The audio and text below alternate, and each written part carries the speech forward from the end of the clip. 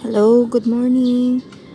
Um, share ko lang itong mga uh, seedlings ko that are under full sun and rain.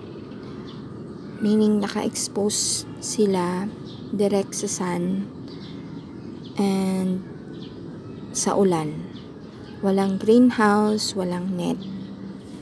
So, ito sila. Uh, these are San Pedro. Cactus. Tapos meron din gymnocalcium and gymnocalcium Arjan. And these are uh, golden barrel seedlings. So makikita ninyo almost or as big as a 1 peso coin. Ayan. Pag sa side view makikita yung malalaki sila.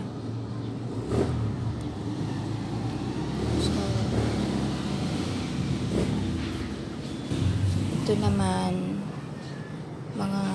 harisha uh, seedlings and Myrtillocactus geometrisans or blue boy.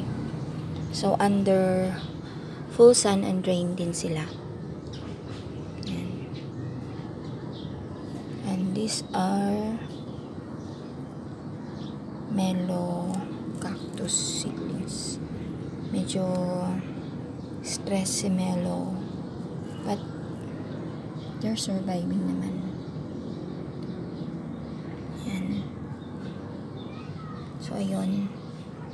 So, possible pala na pwedeng if full sun and rain ang mga seedlings.